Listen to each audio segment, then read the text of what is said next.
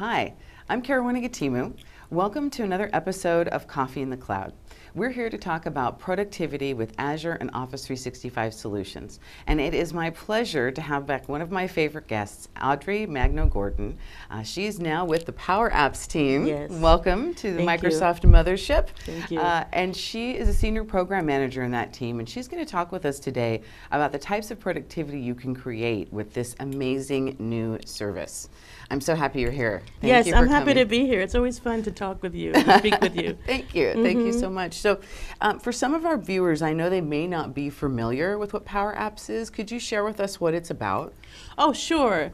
Um, Power Apps is a great tool, and primarily the goal of Power Apps is to provide a software as a service feature that enables businesses to create custom business applications um, across platforms. What I mean by that is with one app, you can build a, a, a solution for your phone, whether it be an iPhone, an Android phone, or a Windows phone, and it still runs in the web and on your tablet devices. So it's kind of like a one time build for all these different platforms. And you can connect to different kinds of data, you can build these apps in these forms without any code. So, as you can see right here, this is the key here. This enables the business without any developing experience, or maybe not even development budget, to go ahead and build mobile applications that they can use when they need them. And they can publish these mobile applications instantly to their organization without having to go through a store waiting process. That's amazing. I It know is. How, I- I know how frustrating it can be when you have this idea of a business process that you need to be able to manage, um, but you don't necessarily have the tools or the skills, or as you mentioned, the budget to be able to build some sort of a custom application. So Yes. I love that we're making uh, these sorts of solutions available to, to just regular users Mm-hmm. out there. To me, it's the democratization of productivity tools. Exactly. Uh, and it's great. And so, part of also what we like to talk about is how the pieces of Office 365 come together to create these. And I know you have a fabulous show and tell piece, a demo Yes. for us. Yes. Can we can we see what you've built? Oh, I would love to show you. That's great. So, um, just to let you know, I do have my planning team site. And in my planning team site, I am able to consolidate many different tools. As you can see here, I have my feed where we have conversations. But I also like to introduce project management elements. And Planner is one of my favorite project management light tools because it enables you to kind of uh, manage all the different tasks that need to be done, you know, maybe pulling them from a backlog and then being able to move them from in progress to completed, adding links or other buckets that you need. Maybe you want a bucket for things that are bottlenecked. But it makes it easy for everyone that is working together in my team instance to be able to see what's happening where. You know, if there's no confusion, hey, where's that in the in the process? They know where it is. In addition to this, and, and using the uh, document integration in Teams instance as well, I also enjoy using list on SharePoint. So you'll notice that I've built a list in SharePoint today that is called a video planning list. And this is because we are actually planning over time hundreds of videos that we'll be su- uh, supplying to our audiences in the community.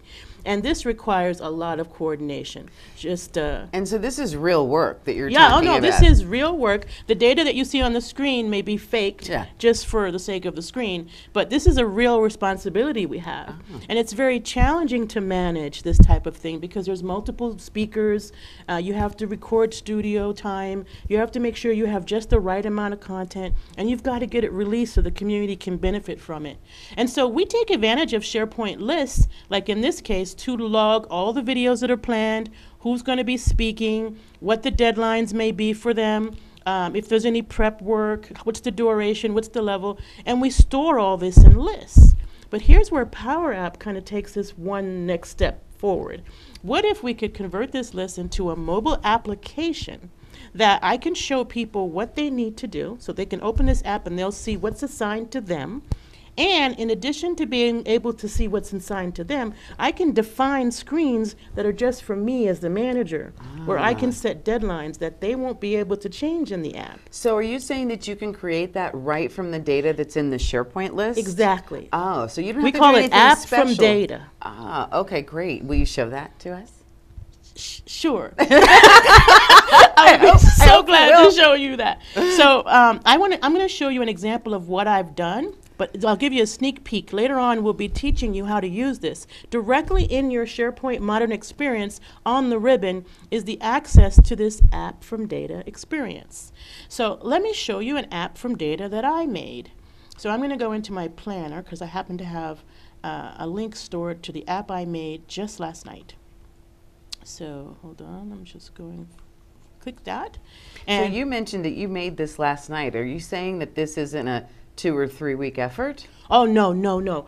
Um, one of the biggest difference between Power Apps and common mobile applications is the delivery time, right? I can design, build an app in literally three minutes, which I'll show you in one next video. Let's remember to do that, right? We can build an app in three minutes. This one took an hour and a half because I have some extra screens. And remember I told you I wanted to isolate a certain screen so that not everybody would see it. So that took a little bit extra formulas, but it's no harder than a PowerPoint presentation mm. or an Excel workbook would be.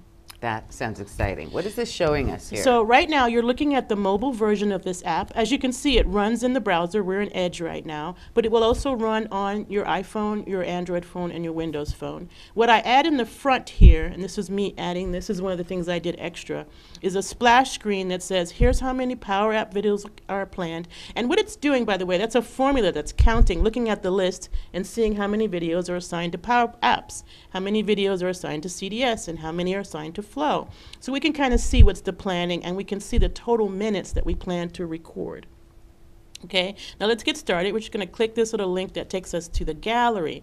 And the gallery is a place where you can see this in like a rotating view. So I do have a touch screen, but on your phone, as it's, and it's with a touch screen, you would just use your finger to kind of rotate through the items. And when you get to the item you want to look at more closely, you select it. It's very similar like on your contact list on your phone. You first see a list of names, but you don't get all the data until you actually tap on a name. that makes sense. So now I've opened this one up and you can see all the data related to that. And if I want to make a change, I just hit this little pencil icon, which by the way was done for me. I didn't have to add any of these icons. It was all done for me. And I can configure this to be assigned to the right person. I can change the duration, the level, and so forth. Any changes I make, I submit via this checkbox and they go right back to SharePoint directly. In addition in- to editing what's there, I can also uh, add. So if I hit the plus sign here, it will enable me to have a brand new form and I'll be able to add new items.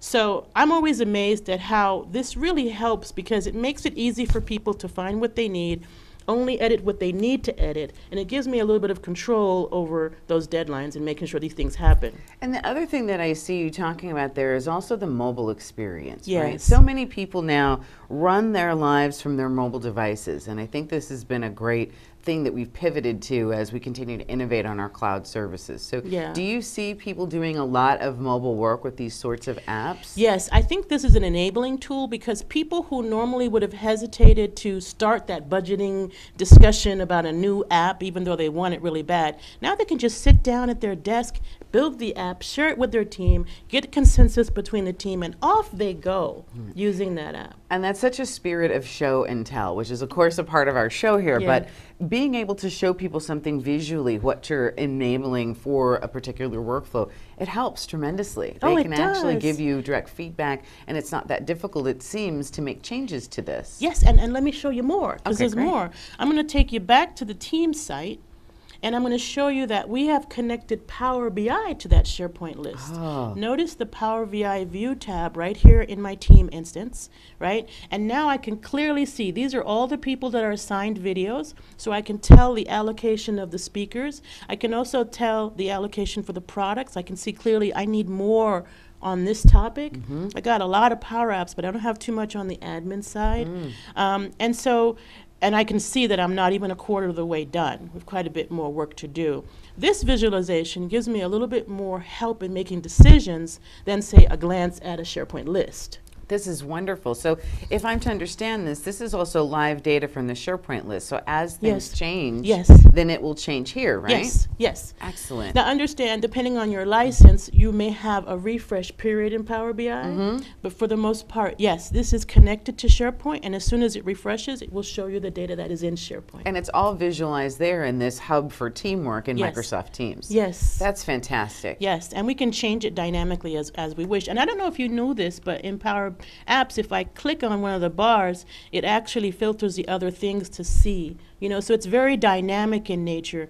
It's very educational. You kind of discover data when you're playing with around with Power BI. The live filtering is fantastic. I I, use that all the time. Yes. It's very helpful, and especially it helps to drive conversations, Mm-hmm. right? And I don't know if you find this, but when we're do, using these solutions and we have things like Power BI, it changes the nature of the conversation you have on the team because then it's truly data driven. Exactly. Have you seen that as oh, well? totally. It seems like people light up when they start working with a Power uh, BI dashboard because they see things they hadn't thought of before, That's and they so true. start talking about it, and it's it's extremely powerful in the workforce. That's so true. Well, and no code on that either. Exactly. I just connected that to SharePoint and just uh, four or five clicks. So the Power App maybe took me an hour and a half because I had several screens. This dashboard took all of 10 minutes. I love that. Yeah.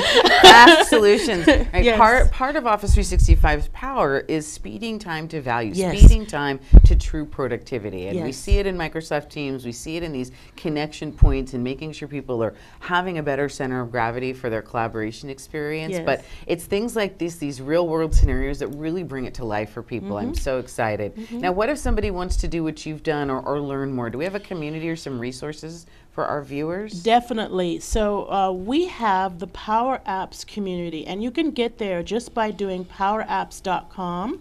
And so from your browser, just do powerapps.com, and it will bring up our community. Now, I am the community lead, so feel free to reach out to me as well. Excellent. And you'll see me all over the community as you begin to uh, browse it. But we have a learn section here where you can pick up documentation um, and even uh, guided learning, which is like the solution I was showing you is we're adding more videos to the guided learning. So right now you can pick a topic, you can learn how to create an app from SharePoint like I did last night, and each section is outlined with very short three to five minute videos so that you can get started comfortably on your own time.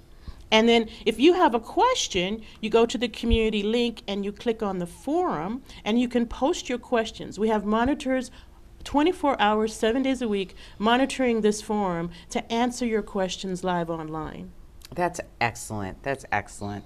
I just love the fact that, you know, we're so dedicated now as a company to getting feedback and having these sorts of technical communities, but that also just answer general user questions. Exactly. And, you know, for anybody out there who's wondering if we actually listen to that feedback or monitor those communities, uh, we can tell you that, that we absolutely do. Yes. Um, we're very committed here to making the products better based on the things that you share with us about your own usage. So Yeah. we really appreciate that. And Audrie, you know that I always appreciate you. Thank, Thank, you. you. For, thank this you is fun. And uh, I really hope that we all continue to leverage the power tools that we have. Absolutely, absolutely. Mm-hmm. Thank you for joining me today. It's my pleasure. Well, that's another episode of Coffee in the Cloud. I'm really happy to have had this awesome guest. Check out in the comments below uh, for links to the resources that Audrie was referring to. Mm-hmm. Uh, feel free to ask your questions or reach either myself or Audrie out on Twitter. We're glad you're here. Um, please share this episode with your friends and come back for more.